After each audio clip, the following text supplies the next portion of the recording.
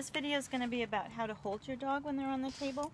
Um, you want to always be holding them by their bones, their large bones.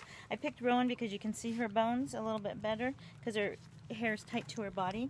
So when you're grooming their face, you want to hold these under these jaw bones right here. And that's what when I placed my finger in their in their ear and then I'm hanging on to with this finger the back of her jawbone.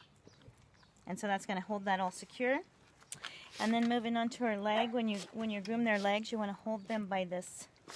You want to just, it's below their shoulder blade and above their elbow here. And you want to place your hand right in there, your thumb there, and then the your pointer finger behind that.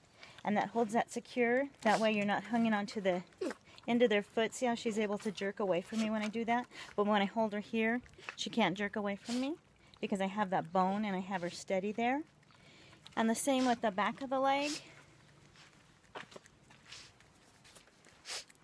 You hold this part right here, this front, front of their little um, knee bone there, and it rests right into my hand. And then you pull that in that direction. So you always want to have them securely by their bone structure. And then when you strip the like the looser skin of their body, I like to hold that skin really tight. And so what I do with my left hand is I pull this forward and then pull to the back as you're stripping. So you're pulling in the way that the hair grows. And then that just helps keep them secure and they're not, and keeps their skin tight when you're working on them.